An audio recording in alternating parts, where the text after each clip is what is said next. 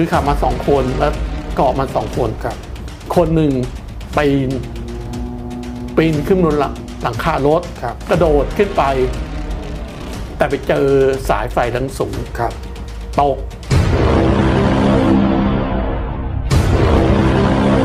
เพื่อนครับผมมีสิ่งดีๆมาแนะนำอีกแล้วนะครับเพื่อนๆใครที่เป็นเหมือนผมบ้างฮะกลางคืนนะครับ พออายุ 45 อัพเนี่ย ผมไม่ทราบว่าเป็นวัยทองหรือเปล่า แต่ผมเนี่ยนอนหลับยากมากครับ ขนาดผมกินยานอนหลับนะ ผมยังไปหลับเอาตีสี่ตีห้าแล้วตั้งเป้าว่าจะตื่นสักบ่ายสามเก้าโมงเช้า8ปดโมงสิบโมงสะดุ้งตื่นอีกแล้ว พอตื่นเสร็จเข้าไปปัสสาวะกลับมาก็นอนไม่หลับนะครับ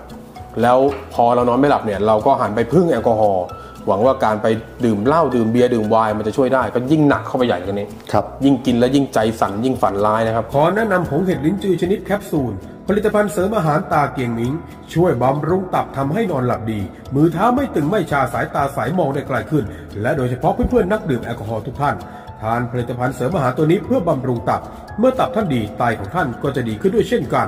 ผลิตภัณฑ์เสริมอาหารตัวนี้รับประทานได้ทั้งคุณสุภาพบุรุษและคุณสุภาพสตรีเลยนะครับ วิธีรับประทานครับ วันละ 6 แคปซูล 10 โมงเช้าหลังอาหารทาน 3 แคปซูลนะครับ และหลังอาหารเย็นก่อนที่ท่านจะนอน 2 ชั่วโมงครับ รับประทานอีก 3 แคปซูล7 วันเห็นผลหน้าตาท่านจะสดชื่นแจ่มใสขึ้นเลยครับ เพื่อนๆสามารถสั่งซื้อได้ทางเบอร์โทรที่ขึ้นไว้หน้าจอนี้ แล้วก็เพจที่ขึ้นหน้าจอนี้ได้เลย และสิทธิพิเศษวันนี้นะครับ บอกว่ามาจากรายการ o v p รับส่วนลดทันที อย่าลืมครับติดต่อโทรไปปรึกษา และทักไปที่เพจนี้ได้เลยนะครับ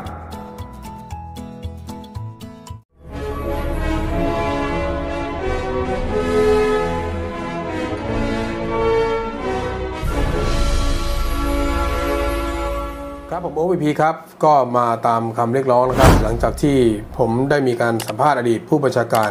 เรือนจำบางขวางนะครับ แล้วก็ FC บอกพี่โอ๊คขออีกขออีกขอแนวนี้อีกนะฮะอยากรู้เรื่องราว วันนี้ผมก็ได้รับเกียรติและอดีตเจ้าหน้าที่กรมราชทัณฑ์ผมอยู่กับท่านมนุษย์นุสวัสดิ์สวัสดีครับท่านครับสวัสดีครับผมเดี๋ยวก่อนอื่นขออนุญาตท่านแนะนำตัวก่อนครับ ท่านทำงานที่ไหนยังไงครับอ๋อผม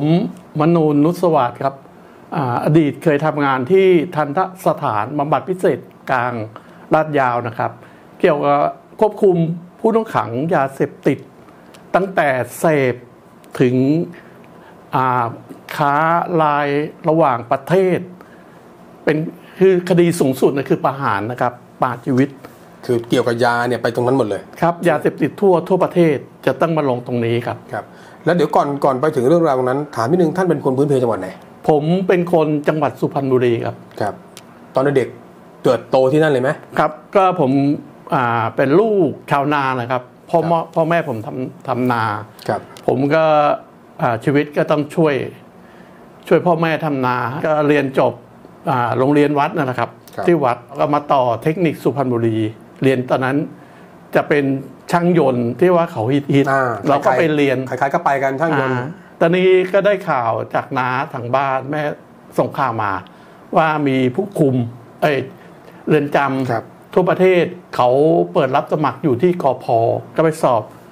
วันนั้นก็ช่วงสอบสอบไปประมาณสักสิบเอ็ดโมงครับสอบสอบก็มีเสียงระเบิด ดังสนั่นแบบปุ้มปุ้มเราเห็นบางเฮ้ยเพื่อนคนที่สอบบางคนตกใจอะตกครับเก้าอี้นะครับ แสดงว่าดังมาก ดังมากครับไอ้นี้เราก็เคยอยู่บ้านนอกเคยได้ยินฮะพลุอะไรมา มันก็คือมันก็ตกใจมากๆอะครับแต่เราก็ยังมีสติแต่เพื่อนที่ไม่เคยรับรู้ครับ คือว่าตกเก้าอี้นะครับ ก็เลยโหแบบ ไอ้นั่นแล้วเจ้าหน้าที่ที่คุมเขาบอกว่าอะเดี๋ยวเดี๋ยวให้เวลาพักกันสักแป๊บสักห้านาทีนะ ครับ พักเรียบร้อยก็นั่นเพราะนั้นมันก็เงียบแล้วไม่มีเสียงเขาก็ให้เริ่มสอบ ร้อยเส้นทางแรกหรือเรือนจำแรกที่ท่านไปรับราชการ ครับวันที่ 30 มกราคมครับ 2524 ผมก็คิดมาถึงปุ๊บโหเรือนจำบางขวางคดียัด คดีอุจจการคดีประหารเราคนต่างจังหวัด ก็คิดว่าคงจะอยู่อยู่แล้วมันคงจะถ้าถ้าใช้คำว่าไม่ทันเล่เล่เหลี่ยมไม่น่าจะทันเขาเพราะเขามีแต่ตัวใช่ท็อปครับมาเลยนะตัวก็ตัวหัวโจกมาเลย ใช่ครับ เราก็คิดว่าประสบการณ์แล้วไม่ประสบการณ์มีน่าจะไม่ทันด้วยเขาก็เลยไม่กล้า ก็มีอยู่ที่ทันทสถานบำบัดพิเศษกลางลาดยาวครับเราก็คิดสันฐานว่าเอ๊ะทันทสถานมัน อะไรเราก็ยังงงคืองงนะครับ แต่เพียงรู้ว่าอยู่ลาดยาว ครับ เราก็เลยมาเลือกตรงนี้ ก็เลยไม่รู้ เพิ่งจะมารู้ก็ตอนที่มาเริ่มทำงาน มาเริ่มทำงาน ถามหน่อยท่านได้มีเกี่ยวข้องกับเหตุการณ์ที่นักโทษจราจรบ้างไหมมีครับ เล่าให้ฟังได้ไหมฮะ เดี๋ยวเดี๋ยวผมย้อนหลังนิดหนึ่งครับ สิ่งบอกเตือนที่ลางบอกเหตุอ่าโอเคลางบอกเหตุว่าจะต้องมีผู้ต้องขังตาย ครับ นอกกำแพงครับ จะมีหมาหอน ทุกครั้งทุกครั้งแทบแทบทุกครั้งเอาพูดง่ายๆเท่าเท่าที่ผมสัมผัสอ่าเวลาท่านเข้าเวรกลางคืนจะมีนกแขวกร้องกับหมาหอน ถ้าผมเข้าเวรกลางคืนอ๋อไอ้นกไอ้ที่แบบเขาเอ่อนเรากเราเตือนห้ามนะทักกันนะห้ามทักกันนะอ่านั่นแหละนั่นนะครับจะมีสองอย่างเนี่ย หมาจะหอนครับกับนกแฝกพอตื่นเช้ามาปุ๊บอ่าผู้ช่วยเหลือรายงานแล้วมีศพตายอ๋อที่ห้องนี้โอ้โหอันนี้อันนี้แปลกอันนี้แปลกนี่นะครับ มีทุกครั้งครับที่เตือน รอเช้ามาก็จะต้องมีผู้ต้องขังตายครับคือตอนนั้นผมอยู่หน้าห้องผู้อำนวยการส่วนปกครองครับ ช่วงนั้นผมก็อยู่ในห้องแหละอยู่ในห้องก็ผมก็จำไม่ได้ว่าทำภารกิจอะไร แต่มีเสียงดังดังแล้วก็มีเสียงผู้อ่าผู้ผู้ช่วยเหลือเจ้าหน้าที่ก็ตะโกนมาผู้ขังแหกขังแหกขัง ผมก็รีบเปิดประตูครับหน้าห้องพอส่วนก็มาดู มาดูปุ๊บผมเห็นแล้ว หน้าแดนสี่ตอนนั้นมันยังไม่มันเป็นแดนไอ้เขาเรียกแดนพุ่งขังยาเสพติดครับคดียารายใหญ่ๆ เมื่อก่อนยังไม่มีอ่าแดนเก้าแดนสิบนะมีแค่แดนเจ็ดก็มี ก็เห็นแบบเสียงรถรถเมื่อก่อนเขาจะขออนุญาต เอารถขยะอ่าสี่ล้อเล็กครับอ่าที่มันวิ่งเข้าได้ในเรือนจำน่ะเข้าไปเอาขยะแต่ละแดนครับ แต่แดนสีนี่เขา ก็จะถอยหลังเข้าไปเขามีมีประตูเขาประตู พอเข้าไปปุ๊บเขาก็จะล็อกประตูประตูหน้าแดน ล็อกแล้วก็อ่าคนขับเขาก็จะมาอยู่กับเจ้าหน้าที่ แล้วก็ให้ผู้ต้องขังช่วยเตรียมยก พอเตรียมยกปุ๊บเขาก็จะไปเปิดเครื่องเพื่อดัมครับดัมขยะขึ้น จังหวะนั้นอะก็จะมีผู้ต้องขังที่คิดอยู่ที่คิดจะแหกหักโดยใช้รถนะครับรถขยะ ที่ล็อกคออ่าคนขับรถครับกับเจ้าหน้าที่อื้อหือล็อกคอแล้วก็เอาเหล็กที่เขาเตรียมไว้ครับ เป็นอาวุธน่ะจี้เอากุญแจเอากุญแจจากอ่าคนขับรถขยะ อีกคนหนึ่งก็ขึ้นรถขับ พอขับสตาร์ทปุ๊บทำท่าจะออกเขาก็ปล่อย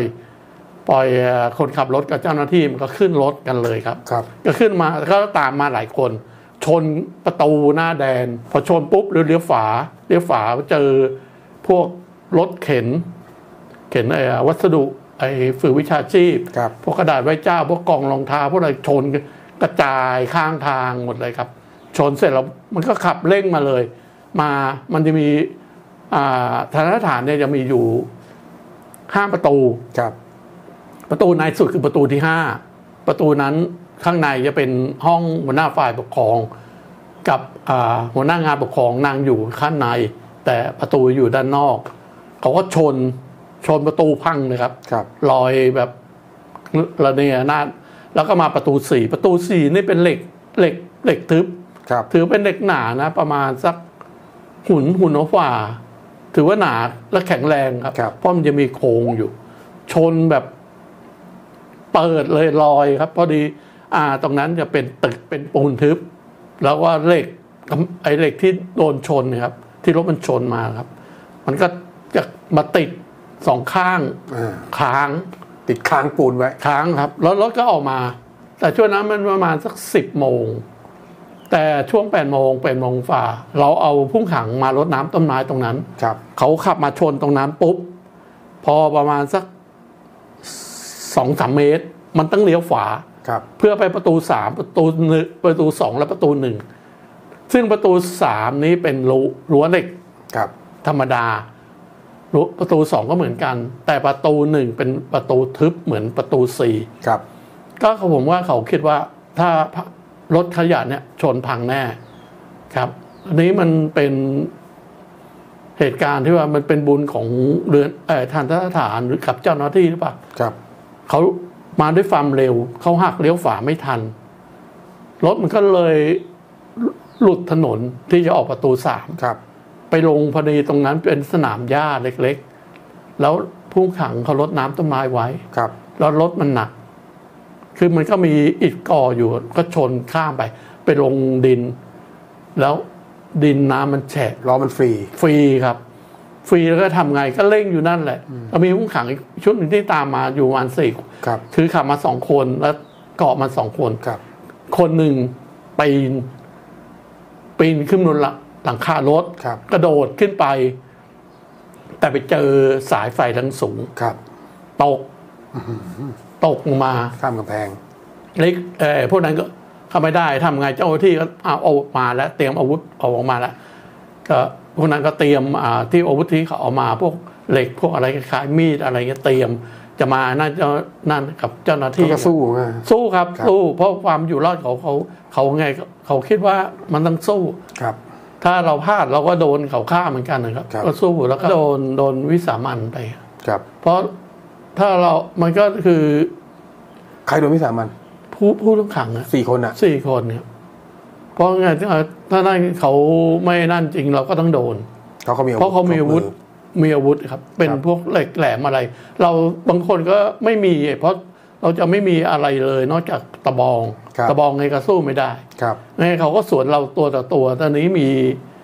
อ่าเจ้าหน้าที่บางคนเขาก็อ่าไปเบิกปืนมาครับ ก็ทำทำตามระเบียบที่ว่า ถ้าเราไม่นั่นเขาก็เอาเราครับ เราก็เลยกลายเป็นสี่ศพอื้อหืออะช่วงนั้นก็จะมีนักข่าวครับ นักข่าวเร็วครับ แป๊บเดียวมาแล้วครับ มาพยายามจะมาเข้ามาเราเราปิดประตูทึบเลยครับไม่เปิดมีช่องเล็กๆกล้องก็จะซูมเข้ามาครับแต่มันมองไม่เห็นเพราะรถรถมันไปอยู่อีกโซนหนึ่งครับครับ แล้วก็มีอยู่ช่องหนึ่งครับ ผมก็ไม่แน่ใจว่าช่องไหนนะครับ ไปเช่ารถกระเช้านะครับโอ้โหลงทุนที่ไหวเลยเช่าขึ้นสูงเพื่อจะสองถ่ายถ่ายเข้ามาข้างในครับครับ แต่ก็เห็นบ้างเห็นบ้าง แต่ไม่เห็นหมดครับ เพราะมันมีช่วงช่วงว่างเห็นครับช่วงรถน่ะครับเพราะช่วงนั้นมันช่วงช่วงว่างสนามไม่เห็นแค่นั้นแหละครับแล้วจากการสอบสวนได้ทราบไหมว่าสี่คนเนี้ยได้ได้เช็คเพื่อนๆกันไหมเอาเรียกมาสอบไหมเฮ้ยมันวางแผนตั้งแต่เมื่อไหร่อะไรยังไงใครเป็นหัวโจกแต่ก็เขาก็จะพูดว่าคนที่สี่คนที่เสียชีวิตเนะครับเขาจะพูดอย่างนี้ครับ เพราะไม่มีใครยอมรับอ่าไม่มีนะใครกล้าเอาตัวไปเกี่ยวครับใช่ไหมแต่พุ่งขังที่ตามรถออกมาเนี่ยเยอะครับ แต่ รถเวลามันนั่นออกมาทางตรงก่อนจะถึงประตูห้ามันเร็วครับ แล้วพุ่งขังที่วิ่งตามมา แล้วแต่มีอ่าผู้ช่วยเหลือเจ้าหน้าที่ครับเขาช่วยระงับโอ้โหช่วยช่วยไว้แบบว่าอ่าปะทะครับปะทะระดับหนึ่ง พอรู้ว่าหลุดไปประตูถึงประตูสี่แล้วปุ๊บพวกนั้นไม่กล้ามันแล้วเพราะไม่ถึงยังไม่ถึงประตูห้าเขาก็ถอยกลับอ๋อ ตามรถไม่ทันด้วย ตามไม่ทันรถมันเร็วนะครับ วิ่งมาไม่ทันเพราะส่วนมากบางคนยังตีตวนอยู่ครับแต่พวกนี้เขาถอดตวนแล้วครับคือเขาถอดโดยที่เราไม่รู้ครับโอ้เจ๋งว่ะถอดตัววิธีได้การถอดเขาก็จะเป็นลักษณะอ่าตัวเวลาตีเหล็กวงกลมนะฮะครับตีเขาจะเอาไม้อ่าไอ้ยาสีฟันนะฮะครับเขาเขาจะอ่ารับให้มันนำแหลมนิดหนึ่งแปลงอะนะแปรงสีฟันครับนะฮะไอ้ที่เป็นนะค่อยๆง้าง ค่อยๆง้างวันละนิดวันละหน่อยง้างเสร็จแล้วก็เอาผ้า ผ้ายัดไว้เหมือนเรื่องของแข็งยัดไว้ครับหลายๆวันเขามันก็ออกได้ก็แต่ตอนนี้ว่าอ่าบางวันเนี่ยเขาทำเร็ว มันพอมันเหล็กมันอ่อนแล้วนะฮะมันเร็ว เจ้าหน้าที่เขาไม่ทันสังเกตครับครับนี่เหตุการณ์นี้ผมฟังมานะ ผู้ช่วยเจ้าหน้าที่นี่ทีโร่เลยนะ ใช่โอ้ครับถ้าไม่มีชุดนี้นี่ช่วยโอ้โหช่วยได้อาจจะเยอะครับ ถ้าไม่ไม่ไม่มีนะครับ ออกมากันเพียบเลยเป็นสิบครับหลายครับสิบคนวิ่งวิ่งตามมาเพราะคดีแดนนี้มันเป็นคดียาเสพติด ผู้ช่วยเขามีอาวุธไหมก็ไม่ส่วนมากไม่มีมือนะเปล่าเลยนะครับโอ้โหแต่ถ้าได้เขาก็จะขอตะบองกับเจ้าหน้าที่เวลาถ้าเกิดปะทะกันเวลามีเหตุนะอ่าพอเจ้าหน้าที่เจ้าหน้าที่ที่อยู่ประจำหน้าแดนเนี่ยเขาจะมีตะบองอยู่ครับก็ต้องมา แล้วผู้ผู้ช่วยที่อยู่ในแดนเงี้ยเขาก็ต้องขอ ขอตะบองมาครับเอามาช่วยอืมอันนั้นเขาก็บางคนต่อตวนเขาอาจจะใช้ตวนน่ะครับ จะเป็นอาวุธ บางคนก็เหล็กแหลมครับแต่นี้เห็นว่าออกมาไม่ไม่ไหวแล้ว เพราะรถมันเลยเข้าไปแล้วเนี่ย ประตูก็มาเนี่ยเจอเจ้าที่แน่ชุดอยู่รอบนอกเนี่ยอีกหลายสิบนายเนี่ยครับพุ่งขังกลับกระแดน นี่เป็นเหตุการณ์หนึ่งที่มี มีผู้ผู้ขังเสียชีวิตอันนี้เหตุการณ์ใหญ่สี่เลยนะครับใหญ่อันนี้ใหญ่ดังครับดังดังทั่วประเทศเลยครับครับ ใช้รถขยะ ตอนนั้นยังไม่มีเหตุการณ์ใหญ่ ๆ ที่ว่าใช้รถขยะ ตอนนั้น 2541 ครับ แล้วก็มีอีกเหตุการณ์หนึ่ง แต่ก็แหกหักเหมือนกันเนาะแดนสี่ครับระยะห่างไปประมาณสักปีปีกว่าๆแดนสี่เหมือนกันนะเจ้าหน้าที่เขานั่งตรวจจดหมายอยู่ช่วงช่วงเช้าพอมาล็อกคอเจ้าหน้าที่ล็อก แล้วก็มีอันนั้นปุ๊บ เจ้าหน้าที่เขาดิ้นดิ้นลงวิ่งวิ่งหนีครับพอวิ่งหนีปุ๊บข้างในก็มันมีอ่าผู้ช่วยอยู่ มันก็ไม่กล้าเข้าไป เข้าไปครับมันโดนอ่าผู้ช่วยเหลือแน่นอนนะครับครับ มันก็เลยออกประตูมาพอพอประตูมันพอล็อกเจ้าหน้าที่ได้ปุ๊บไอ้ที่อยู่ประตูเนี่ย มันก็สามารถเปิดได้เพราะกุญแจอยู่ตรงนั้นครับ ออกมาบางคนก็วิ่งมาทางทางประตูห้าอีกคนหนึ่งก็วิ่งไปทางฝาไปอ่า แดนหกแดนเจ็ดก็มีสองสามคนอ่าลูกน้องผมที่ช่วยงานหน้าห้องผอส่วนปกครองอะครับพอดีเดินเดินเอาเดินเข้าไปสายกลางพอดีเขาเห็นไอ้นี่วิ่งมาแล้วถือตัวมาครับแต่ว่าเด็กวัยรุ่นนะครับครับประมาณยี่สิบกว่ากระซ่าละวิ่งสวนเขาครับครับสวนกับผู้ขัง ซึ่งผู้ขังมันมีตัวฮะตัวเองไม่มีอะไรก็กะจะไปโดดเตะ โอ้โหใจผู้ถึงขังใจถึง โดนครับ โดนตวนตวนที่ผู้ขังถอดนะครับฟาดที่อก พอดีมีเขาบอกว่าผมมีปากกาอยู่อันหนึ่งครับปากกาค่อยๆเขียนไอครับงานให้นาย มันไปโดนตรงนั้นโอ้โหแต่ผมก็ร่วงเลยครับ เหมือนเขาบอกว่าเหมือนนกปีกหักอะครับพอโดดนั่นเขาอ่าตัวอันมาร่วงครับ ตัวมันก็เส้นกับอ่า ขนาดนี้อะครับงอสองรอบก็หนักหนักมาก ก็บอกนะ แล้วก็เอามาโดนจับโดนจับ มาโดนเอ่อตรงแดนพยาบาล สถานพยาบาลนะเพราะเลยมาต้องเป็นประตูห้าครับแล้วไปโดนตรงนั้นเพราะเจ้าหน้าที่กับผู้ช่วยเหลือสกัดตรงนั้นจับครับได้ ลูกน้องผมคนนั้นที่เข้ามา พอพอดีวิ่งตามไอ้นี่มา พอโดนจับมันก็ใส่เลย เมื่อกี้ล่อกูใช่ไหม เอาคืน โอ้เอาคืน อีกคนหนึ่งก็ไปครับ ไปที่แดนหกปีนจะเข้าแดนครับ จะหนีเข้าแดน เพราะตรงกลางมันจะเป็นที่ละที่โล่งจะปีนเข้าแดนเขาคือรู้ว่าออกไม่ได้จะเข้าไปมั่วกับผู้ขังในแดนหกครับพอปีนปุ๊บเจ้าหน้าที่ในแดนหกเขารู้นี่ ปีนเข้ามาก็จับให้ผู้ช่วยเหลือจับตัวครับแล้วมา รู้สึกว่าเอ่อจะมีผู้ขังตายคนหนึ่งคนที่เอ่อ คนขับไปที่ล็อกควบคุมอะใช่ผมไม่แน่ใจคนนั้นหรือเปล่าครับคนที่ออกมาที่ประตูห้าครับที่ว่าเอาโซ่ตวนตีนั่นแหละที่ผู้ฟาดช่วยเหลือนะครับครับ แล้วมาตรงนั้นน่ะรู้สึกว่าผู้ผู้ช่วยเหลือเขาก็จะอะไรอะจะต่อสู้กันนะครับ เหมือนกับก็เอาคืนอะอ่าต่อสู้ผมก็ไม่แน่ใจว่าเอาคืนหรือยังไงก็คงเอาคืนนะคนฟาดที่เขาไว้เขาสกัดเนี่ย ก็คงสกัดกันนะครับ ก็คงจะโดนไปเยอะนะครับ แล้วนั่นก็จะเสียชีวิตตอนหลังเนี่ย ครับน่าจะโดนพวกผู้ช่วยด้วยกันนะลุมผู้ผู้เอาไปช่วยตีนะเขาครับไงผู้ขังที่ช่วยเหลือเจ้าหน้าที่นะครับครับก็เลยเสียชีวิต นี่ก็เหตุการณ์หนึ่งที่แหกหักโอ้แต่ผมฟังท่านเล่านะเพิ่งรู้วันนี้นะครับว่า ไอ้คำว่าผู้ช่วยเจ้าหน้าที่เนี่ย โอ้โหนี่ฟังท่านเล่านี่เขามีบทบาทในหลายเหตุการณ์เลยนะครับมีประโยชน์จริง ๆ เลยนะฮะ คนที่ใกล้ๆจะออกแล้วเป็นเป็นนักโทษชั้นดีอะ ครับ ดีแล้วเขาก็มีความเสี่ยงกับเจ้าหน้าที่ด้วยครับ เสี่ยงคืออะไรเสี่ยงเสี่ยงช่วยเสี่ยงไปด้วยช่วยเหลือครับ ครับ เพราะผู้ขังคดียาเสพติดนะครับ เราก็ไม่รู้ว่าเขาคิดวางแผนช่วงไหน แต่ความคิดเขาคือเขามีโอกาสเขาออกจากทันทสถานแน่นอน ครับ เขาไม่ต้องการอยู่ข้างในหรอกครับแต่ว่ามันก็เป็นระเบียบครับ เมื่อเขาใช้ความรุนแรง เราบางครั้ง เราถ้าเราไม่ไม่ใช้ความรุนแรงเข้าช่วยระงับ เราก็ต้องโดนนะครับ เพราะผู้ขังอะมีอาวุธมีความเต็มพร้อมที่จะแหกหักออกมาเนี่ยครับครับ อย่างน้อยมันไม่เหมือนอายุคปัจจุบันเมื่อก่อนจะมีแค่เหล็กแหลมเป็นมีด เป็นคล้ายๆมีดอะไรพวกนี้ครับ ที่อ่าคือไงล่ะ ก็เป็นวัสดุที่ทำภายใน เพราะแดนสี่มันเป็นแดน มันมีร้านค้าของอาทันตสถานอยู่ครับ อันนี้ก็จะมีพวกมีดพวกอะไร แต่มันก็อยู่อีกห้องหนึ่ง แต่พวกนี้มันก็ผมว่ามันเขาก็มีความสาหามารถวิธีจนได้อะเอาออกได้ เพราะเงินนะครับผู้ต้องขังที่มีเงินเนี่ยครับสามารถทำอะไรก็ได้ ผู้ต้องขังบางคนช่วยเรางานเราดีๆ เนี่ย แต่เราจะคิดเลยครับว่าเขาจะซื่อสัตย์กับเราตลอดเงินครับครับ เคยมีเคสหนึ่งแดนสี่เลยครับผู้ต้องขังต่างชาติ ไม่รู้ว่านำยาเสพติดเข้ามาได้ไง นายผมอยากกินหอยแครงเขาขอหอยแครงครับ หอยแครงลวกอะ ฮะบอกอยากกินบอกบอกคงไม่ได้หรอกครับ เพราะหอยนะมันเข้าไม่ได้นะครับ ผมนำเข้าไม่ได้นะมันของ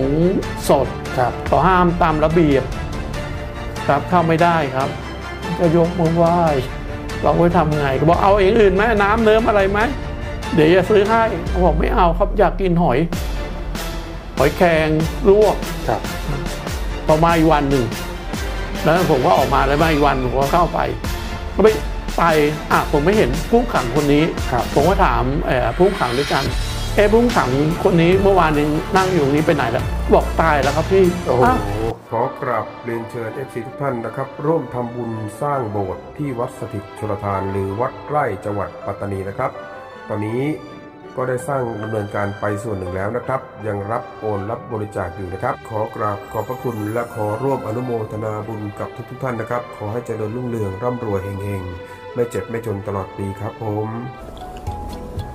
อืมอร่อยทำเยี่ยมเลย ครับทำใช้ได้นะอร่อยครับกินเดี๋ยวกินหมดน่ะใช่ครับติดติดลมฮะกินแล้วติดลม กินแล้วมีโชคต้องหมูฝอย โอ๊ก VIP อืมถ้าได้ เพราะมันจะมีออกหวานนิดๆครับ แล้วก็กรุบกรุบใช่เป็นไงฮะใช้ได้อร่อยดี อร่อยอาจารย์หมูผมเป็นไงหมูฝอยอร่อยอร่อยตะกี้ลองดูแล้วนะอ่าอร่อยอ่าดีดีดีสวัสดีครับหมูหยองโอ v p นะครับอร่อยสุดๆทานแล้วรับรองว่าหยุดไม่ได้นะครับห่อนี้ 100 กรัมนะครับราคา 260 บาท จัดส่งฟรีทั่วประเทศไทยนะครับพิเศษสำหรับ FC รายการโอ v p นะครับ3ห่อเอาไปเลยครับในราคา 560 บาท จัดส่งฟรีทั่วไทยหืมตังเลยครับ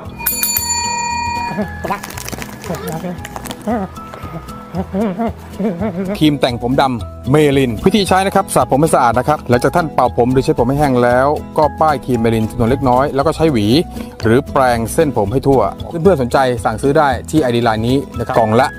390 บาท รวมค่าจัดส่งเรียบร้อยแล้วนะครับ สามารถ add Line มาสั่งได้เลยนะครับ สวัสดีครับผม OVP ครับ ปีนี้ผมอายุย่างเข้าวัย 46 แล้วนะครับ แน่นอนปัญหาเรื่องผมร่วงเรื่องรังแคเรื่องผมขึ้นน้อย หรือผมบางเป็นหย่อมๆเกิดขึ้นแน่นอน วันนี้นะครับผมมีผลิตภัณฑ์ไบโอนอกอันนี้บอกว่าสุดยอดเลยครับวิธีใช้นะฮะหลังจากอาบน้ำแล้วเป่าผมให้หมาดๆนะครับแล้วก็ใช้ไบโอนอกนี่นะฮะประมาณ 1-2 ดอปนะครับแต้มไปตรงจุดที่เราเป็นรังแคนะครับอย่างผมจะเป็นจุดนี้แต้มไปที่หนังศีรษะนะฮะไม่ต้องแต้มไปที่เส้นผม แต้มไปที่หนังศีรษะ แล้วก็เอามือนวดนวดนวดนวดให้ทั่วนะครับจะเย็นสบายหอมสดชื่นความเป็นธรรมชาติเลยนะฮะนไหมฮะแล้วก็ช่วงกลางศีรษะเนี่ยผมก็จะเป็นผมขึ้นน้อยนะฮะล่วงไปเยอะมากแล้วตามวัยตามอายุนะครับหมดปัญหาผมร่วง แล้วก็หมดปัญหาผมจางๆ เดี๋ยวมันจะเพิ่มปริมาณในการขึ้นนะครับแล้วก็เรื่องรังคงรังแคหายห่วงครับ ทาแล้วเย็นสดชื่นสบายนะฮะเพื่อนๆสามารถสั่งซื้อไบโอนอกได้ทาง Shopee หรือทางออนไลน์หรือทางเพจนะครับในราคากล่องละนะครับ1,100 บาท และ 2 กล่องในราคา 1,980 บาท แต่ถ้าเพื่อนๆไม่อยากซื้อในราคาแพงนะครับ ก็ติดต่อมาที่ ID Line ที่ขึ้นหน้าจอนี้เลย add Line ทักผมมานะครับ พิเศษวันนี้นะครับ ถ้าซื้อในนาม FC รายการ OVP นะครับ จากกระปุกละ 1,100 บาท เหลือเพียงแค่ 890 บาท และจาก 2 กระปุกนะครับ 1,980 บาทนะครับ เหลือเพียงแค่ 1,890 บาท ท่านั้นยังไม่พอนะครับ วันนี้หากคุณซื้อ 2 กระปุกในราคา 1,890 บาท แถมฟรี น้ำยาสระผมไบโอนอกสระแล้วสบายหัวชุ่มชื่น ป้องกันรังแค ช่วยบำรุงเส้นผมและรากผม แอดไลน์มาได้เลยนะครับ